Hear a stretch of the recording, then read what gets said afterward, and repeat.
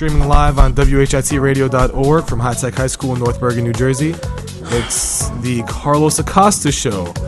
I'm your announcer, Mohammed, and now your host, Crazy Carlos. Wait, hold on. Are we serious right now? There was no energy No in that introduction. bashing. Absolutely no. You you looked like we had to drag you out of bed to be here. Hello, this is the Wake Up High Tech Show. No bashing. Your host disappointed in you. is Crazy Carlos. I'm your announcer. If you have that kind of passion for college, you're gonna flunk. Muhammad the Magnet. Uh, this is hopefully gonna be a good show. Now you're a host. That That's the way you said That was a spot-on impression, Sam. Oh my god, I'm disappointed. I'm thoroughly disappointed. We'll have to work on that. For oh a Oh my first God. time, for a first time, it wasn't that bad. It was terrible. I'll, I'll It was work on it for next horrendous. time. It was I'll work on awful. for next time. The only good thing about it is that it can't get any worse. Watch, ne- all right, watch the outro. All right, just go on with your topics for now, Ches. All right. Well, good morning. I'm your host, Crazy Carlos, and joining us right now is Richie, who is very, very, very late to school. Woo! That's the energy I Oh, like. that's Ratchet Richie and Sam the man. We got a lot of energy. I'm like, You already know what's up. Work late. What's good? Wake up late. You know what's up. I'm in here. I got the energy. What we doing today? We're doing a video game show. A lot of news this week. First off, Ah, so ah. two big releases this week. We got Final Fantasy Type Zero, which comes bundled with the Final Fantasy. Yeah, it's it's uh I'll get that in a second, and it comes bundled with Final Fantasy 15 episode Duscae, which is like a, a, a demo of the new game, and one the game I Uh, picked up this week, Battlefield Hardline. Chaz, So- what was the name of the game again? Final Fantasy Type Zero. Ah, Chaz, ah, didn't ah. you pick that up like two weeks ago? Hardline? Yeah, Oh, get last week. I'm sorry. he's lying, folks. So the big releases last week, which I was supposed to do a show on Monday, but you know, Mr. DePiro wasn't Ah, in school. but anyway, ah. so Type Zero, it's a re-release of a PSP game that got that it never made it to America, and I I want to pick it up. It looks awesome. It's like a 40-hour game. So the game I play, well, I'm just gonna do a quick review on, is Battlefield Hardline. Now this game has been getting mixed reviews, and I can see why. I didn't play Battlefield 4 because the servers are horrendous, and I was like, it's not worth playing at this point. yeah, I've never played it either. So it was so Battlefield Hardline. The way it's set up campaign wise, it's a cop show. It's like Miami Vice. Like it knows what it is. And the one thing I like is that when you're um, like the, there's no missions. They're episodes. So after you finish an episode, it's like it, it, it looks like Netflix. It's like uh, next episode loads in 30 seconds. The play icons there. It tells you the description. It's like Netflix. It's cool. The one thing I like is that you can you can beat this. Oh look, it's Sam. I'm just gonna pick Sam's nose. This is why we don't have Mo do these things. Yeah, this is exactly why. Because first he gives us terrible energy, terrible, awful energy in the intro. Awful. That's supposed to be the show. That's supposed to be the thing that I starts it off. guaranteed you, Mo walked into class today and he was like, "I don't want to be on the show. I'm too lazy." No, no, he's That's too not tired." what happened. He's like, I'm gonna screw up the You know show. what? You know what? I hate video Like games. you always find the way to mess things up. The intro You is. found It- a you always do. Guys, The- guys, the guys, intro is Even so- though our fans would love to hear a show about Muhammad. No, this no, no. is a show They would. about Let me- let me Final rant about Wait, it. wait, Sam, Final Sam, Fantasy. Let me rant about this real quick. The intro is one of the most crucial parts of the show. It is what sets the tone for the entire show, and you completely dropped the ball when you said, "Hello and welcome Wait, to wait. Wake Up High Tech." I just Mo, noticed there's a Mo. host sheet in the door. Mo, I have That's something awesome. to say. Sam works out at night, I work. out wakes at up night. early, is ready. Chaz games are late, wakes up early, is ready. I What do you do? I work late, I wake up late, but I'm here. I got, I got my blood taken yesterday. The doctor's like, "Don't go to baseball practice." What would I do? He went to baseball practice. I went. Do I listen to a doctor? No. Letter of the day is B. as in beast. Anyway, anyway, back to Battlefield Hardline. So the one thing I like about this game is that you can play the game for the most part without killing anybody. Because you know, cops you can't kill anybody. This game can give cops a terrible name. Don't get me Yeah. wrong. Like I've killed so many people in this game, but Yeah. you can either use a taser to take them down or physically arrest them, which is, uh, is weird in a second. Which I'll get back. I'll get back to that. So the game actually rewards you by leveling up in the campaign by arresting people, not killing anybody. But it's kind of counterintuitive because you unlock guns to kill people by doing that. So you're encouraged to not kill people to unlock these cool weapons to kill people. It's, it doesn't make any sense. Mm-hmm. And the campaign very very very cliche. There are a few awesome set pieces, but reviewers like Angry Joe are complaining that it's trying to be too much like Call of Duty, getting these insane set pieces, but I like it. From what it sounds like, and from what I've heard, it has no direction. You know what I mean? Like it has, like you know, like games usually. Yeah, have an I- I could- yeah. It usually have an identity. Like you know, Halo's that slow shooter, but like you know, slow. Like this, re- it doesn't sound like it has an identity, especially with what you It's said. like But I it's, think that's what kind of like we're moving to in the gaming world in general because a game that has like you know that is more and more like real life and in a way like real life doesn't have a set direction. yeah. Like you know what I mean? Like I think sooner or later we're gonna get to a game that encompasses everything that has to do with reality, and in that way, Okay. like we're gonna be able to you know you could do any like a aspect. Sims, maybe like a Sims No, no, game. no, No, no. Further than Sims, because like if you want to join the military, that'll be like the Call of Duty style of it. If you want to play sports, that'll be like the the sports Matt, games. yeah. Well, 2K it'll combine like all the games together. 2K15 was the first time that a my player you really you could do so many things. Oh, you- you you had pick- rivalries. picture on it, yeah. You had uh, you had so many things you could do. You had like I should get 2K. scenarios in between games. I should get 2K. I'm, I'm waiting for 2K16. Oh, you didn't get 15? I never got 15 because I So didn't get the Xbox. so what do you- 'cause I 15 di- servers are trash. I don't didn't, I bother. didn't want I didn't want to uh, waste my time getting 15 when I didn't have the one yet.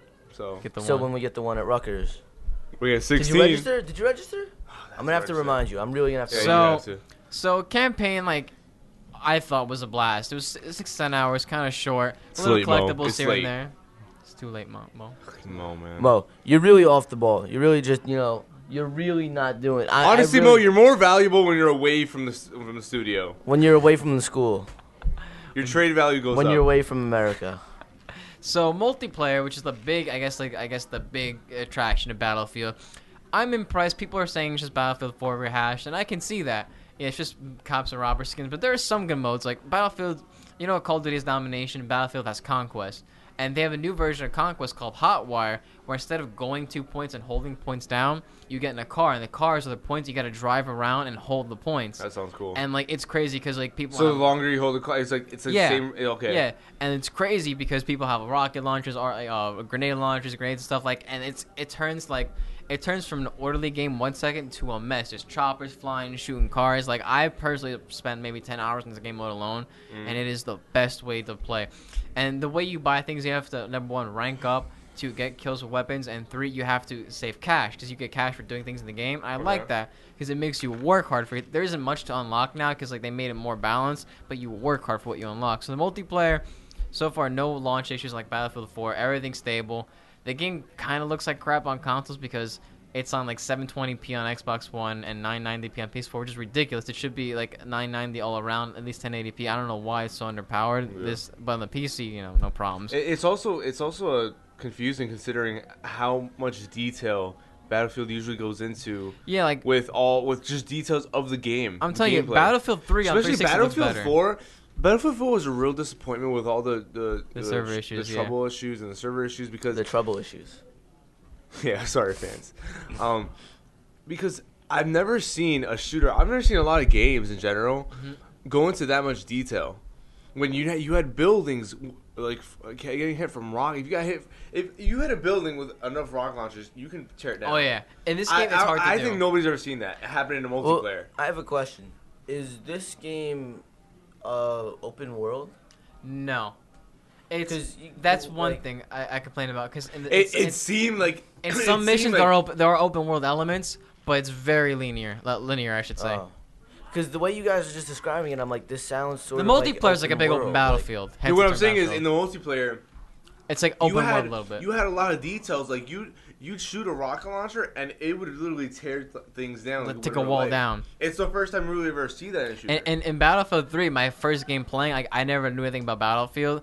Battlefield 3 someone was a good game. shot a tank at a house, the thing collapsed on Battlefield killed 3 me. was a good game for its time. Yeah, it's it still is. I mean, no one Still plays is. anymore, but it's it's a, it's a great game. Still a great game.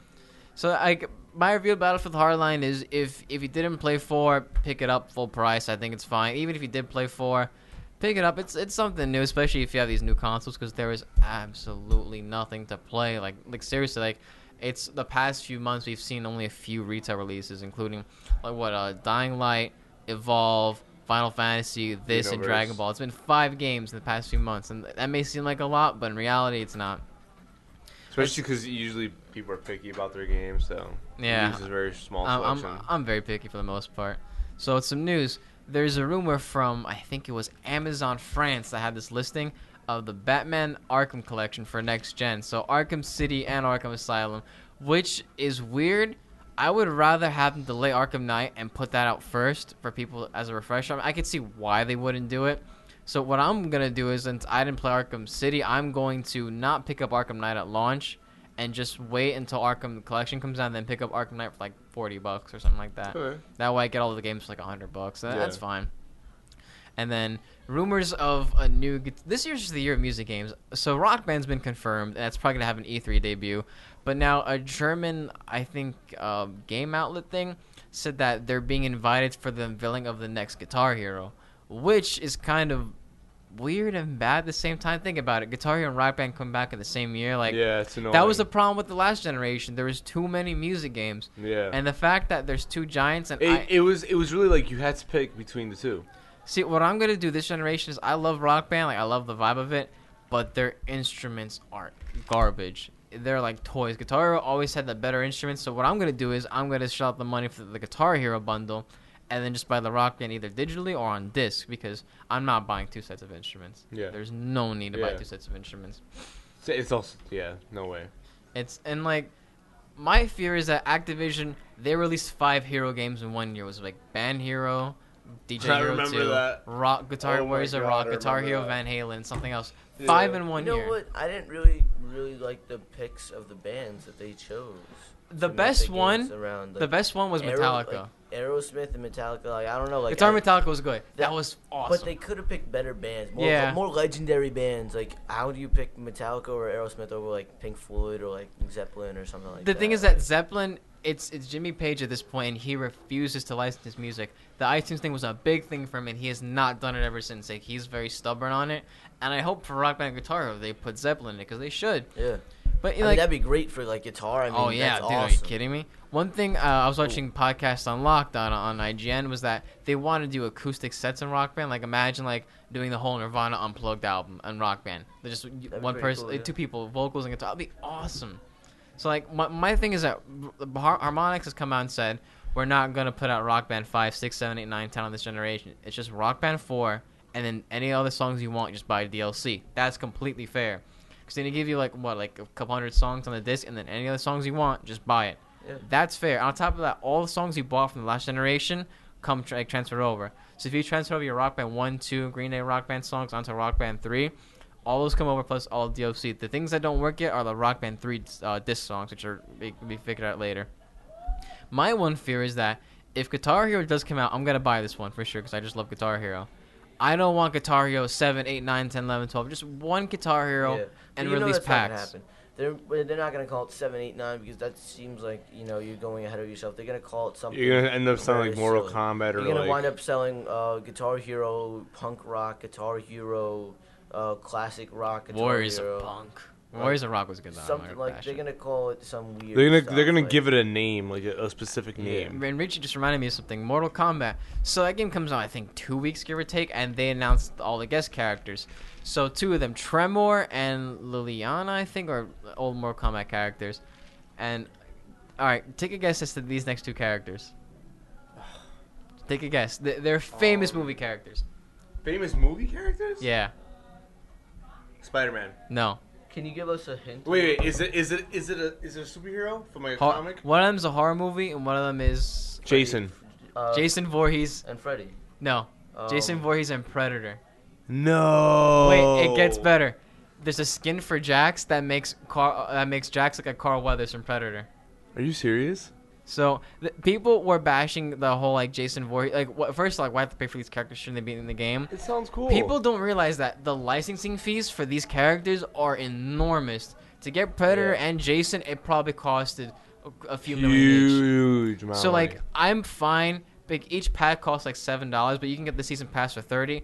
I'm fine paying thirty bucks. On top of that, you're getting each character costs like three fifty, and the skins you get each pack costs like a dollar. So it adds up. Like it's fine. I'm fine with paying thirty bucks for all that for on top of that because like they're not ready yet. yeah. Like the problem with us on Sam about this, free to play games like it's I guess a, a segue. Free to play is a terrible uh, name. It's free to start. Like Candy Yeah. Crush, you get it's free to start. You get five lives, but then you either gotta pay to get lives. You gotta pay. It's it's free to start, and that's the problem with uh, Evolve, which is a big game. it had I think a hundred dollars worth of launch day DLC, which was ready before the game even came out, but they just waited to you know so they make money off it, and that's wrong. Mortal Kombat, they're doing it right. They're like, all right, these characters they're gonna be later on in the game. We're nowhere near done working on them, so if you buy it now, you know you can get them when they come out. That's fair. If you come out and say they're not done, I'm fine with that. But you can't make content that's on the disc already, locked away for a behind a paywall. That's not right. I'm already paying six. Same thing with Assassin's Creed Unity. The game was finished, but you had it. But you can also buy weapons, buy your way to that. No, do it right. Yeah. Like it, it- You're it- just you're you're feeding off. yeah. I don't like that. If I'm paying sixty dollars for a game up front, I don't want microtransactions. I that's the last thing I want. Yeah. You And- you want to buy the game first. Exactly, and and if if I want to put more money into it, DLC is fine. I support DLC only when the DLC is fairly priced and when it's good. Yeah. And and I will admit there were some DLCs where I've hated. Like when I was a little kid, I made the mistake of buying the Modern Warfare uh, two and three map pack. Oh, more, mainly two. Modern Warfare two map packs were the biggest waste of my money. You think so?